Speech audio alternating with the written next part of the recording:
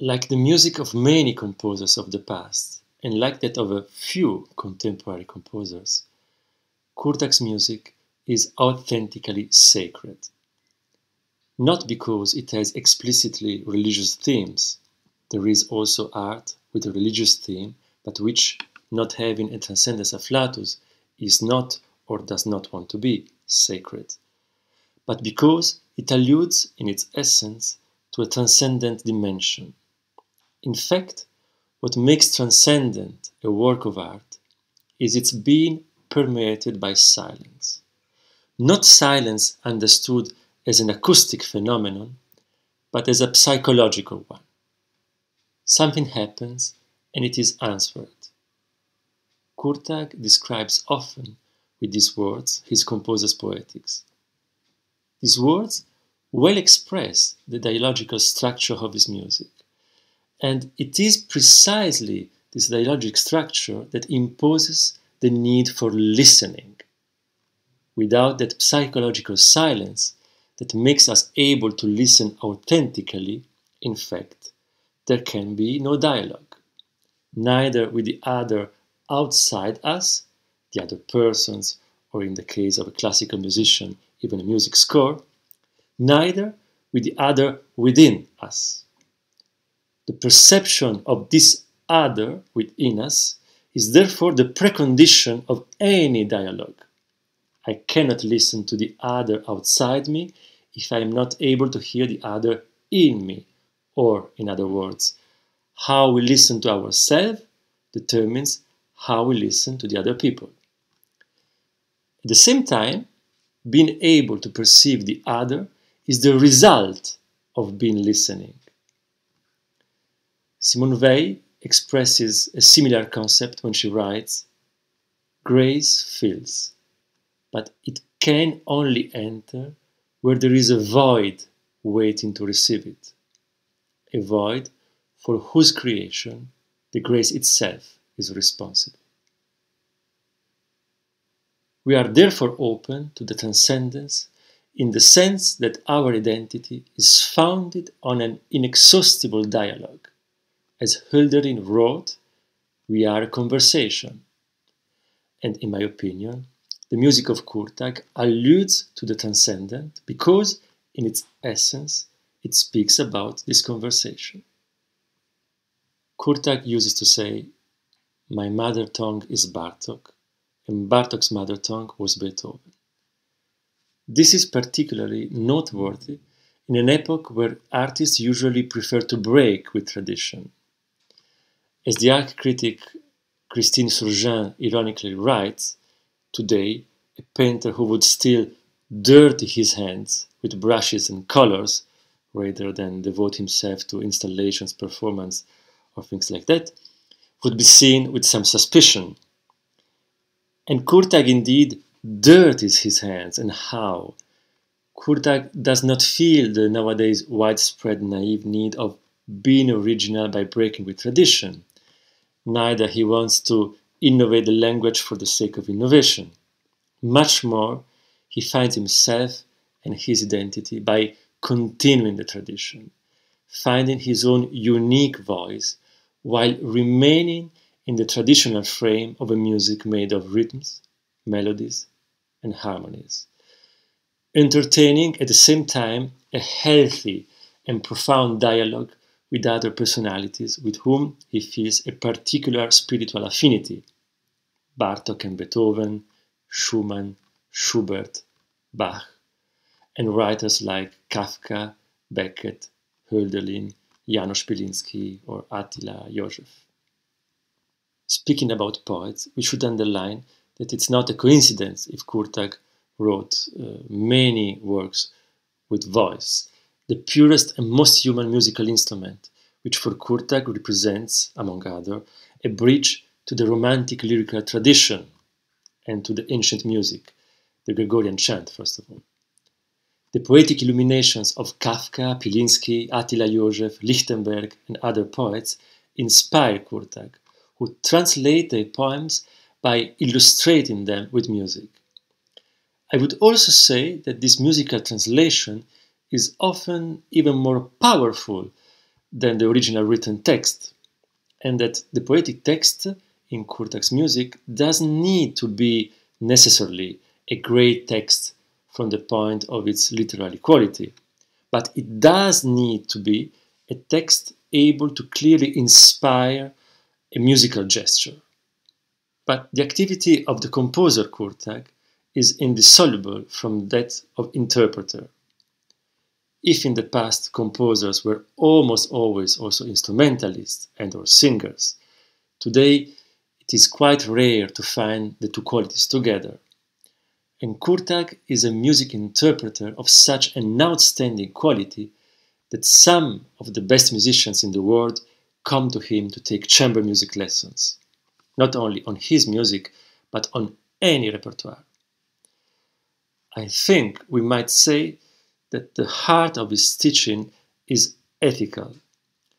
What is striking, in fact, is Kurtág's constant reference to the necessity of an authentic assumption of responsibility for the smallest musical detail. One should, Kurtág says, deserve a crescendo, deserve a sforzando. My greatest enemy is the one who is already playing the next bar without having deserved it. This is a strong way to say that one who is not listening to the transcendence is not ready yet to take the next step, that is, to play the next note. In other words, someone who is not in contact with the verticality, the transcendent dimension, which in music corresponds also to the immanence of style, cannot move horizontally, the narrative element which unfolds over time. But where does such a strong ethical attitude come from? In the film by Judit Kele, The Matchstick Man, Kurtág describes himself as a cockroach that crawls and seeks to become a human being. He also names one of his compositions made with matchsticks, the cockroach looking for the way to the light. So here we can understand, in my opinion, two essential elements of Kurtág poetics. The sense of guilt, feeling to be an insect, and not feeling worthy, the need of searching and deserving the light, or of becoming a human being.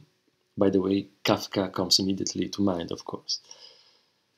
Therefore, Kurtág's constant reference in teaching to an assumption of responsibility appears, to my eyes, as a reparation, as an atonement of this sense of guilt in order to deserve the grace. From this transcendental sense of guilt derives, in my opinion, also the proverbial dissatisfaction of Kurtág for many interpreters.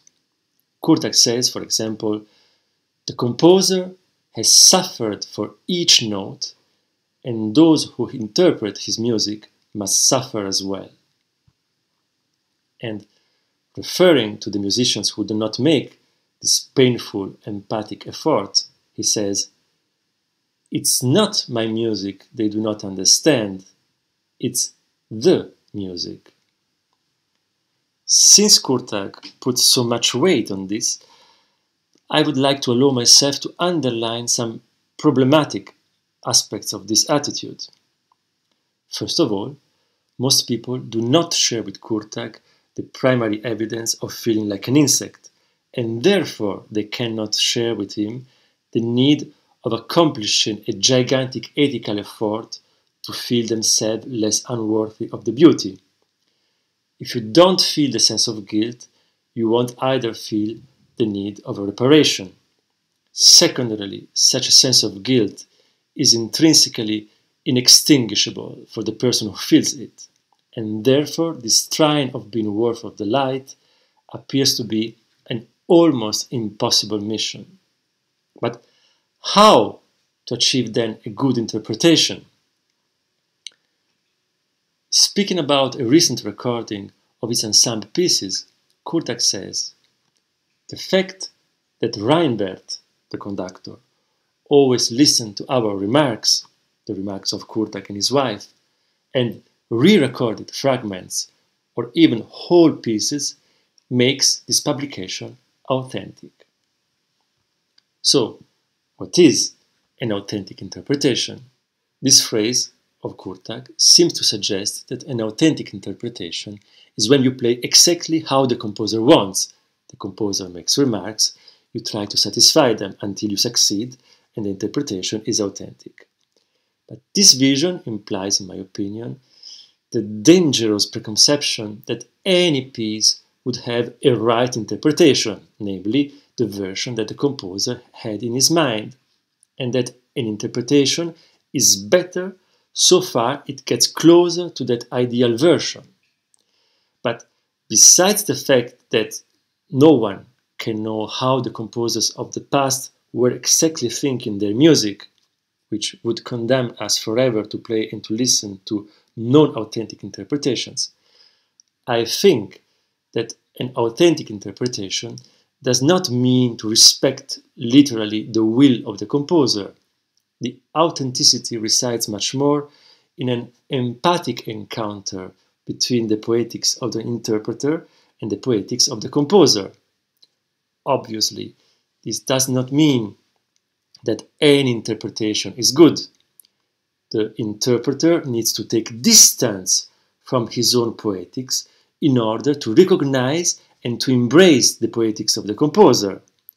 Yet, interpreter and composer are two different persons, and it's normal that the final musical result goes much beyond the initial idea and will of the composer. And actually, this is precisely the reason why there can be endless wonderful interpretations of the same piece. Horowitz, Gould, or even Kurtag recorded, for example, some unforgettable Bach interpretations. Probably those are quite different from how Bach was thinking his own music.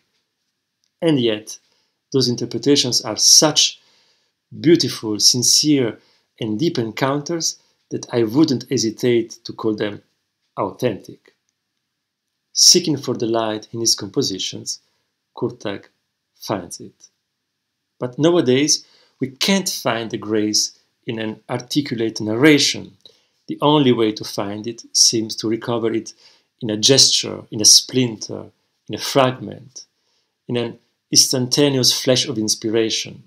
And indeed, Kurtag writes very short compositions, finding the grace in purely an archetypical objet trouvé, such as a slowly played major scale like the beginning of Quasi una Fantasia for piano and orchestra, or a slow arpeggio on the empty strings of the guitar, like in Grabstein for Stefan. That's why most of Kurtag's compositions are very short, and even his longest compositions have mostly the structure of cycles of fragments of short illuminations. The already quoted expression, something happens, and it is answered, also catches perfectly the essence of the Japanese haiku. In the old pond, a frog plunges, the noise of the water. The sense of this poetic image resides in its time density, in the coincidence of eternity and instantaneousness, which characterizes also the music by Webern, to whom Kurtag is often associated.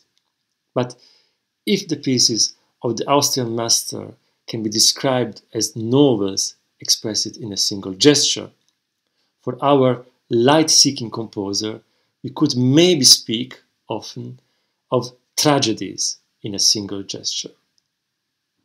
In conclusion, Kurtag is one of the most personal artistic voices of our time. His language is rooted in the tradition and at the same time is unique.